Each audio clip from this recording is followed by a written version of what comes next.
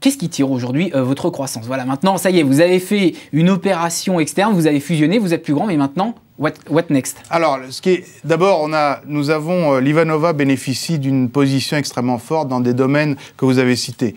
Traitement des maladies cardiovasculaires, nous sommes les leaders mondiaux dans le domaine de la chirurgie.